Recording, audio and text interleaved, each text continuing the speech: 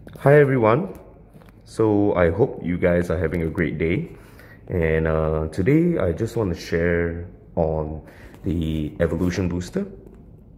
Okay, I think many of you have seen in YouTube uh, using this on heroes that we already have all the soul stones available and uh, you are able to do the upgrade for free so I'm not gonna share on that I'm just gonna be doing on my Isaac which uh, I'm trying to build an Isaac and I can't seem to get the soul stones. So I wanted to use the evolution booster on this uh, hero.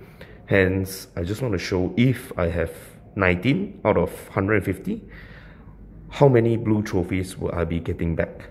So at least we can see the calculations. And if uh, you have a lot of uh, absolute star heroes you can also consider to do this and uh, use your blue trophies.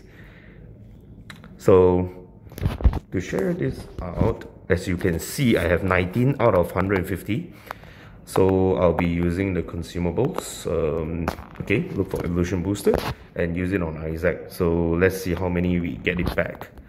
Uh, for now I have 495 495 uh, blue trophies as of now and I've already purchased a evolution booster. So I'm just gonna use it and see how many I get back. Is that choose this hero?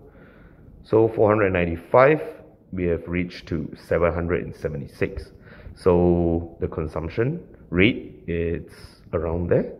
And uh, hope you guys consider if you want to do this or not.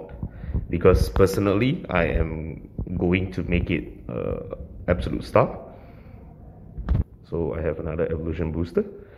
So if we calculate it based on 475 to 276 I've actually reduced uh, close to two about half of the uh, blue trophies that I've used earlier so I'll do the calculations over here in the video and uh, hope you guys are well informed about how to use the evolution booster.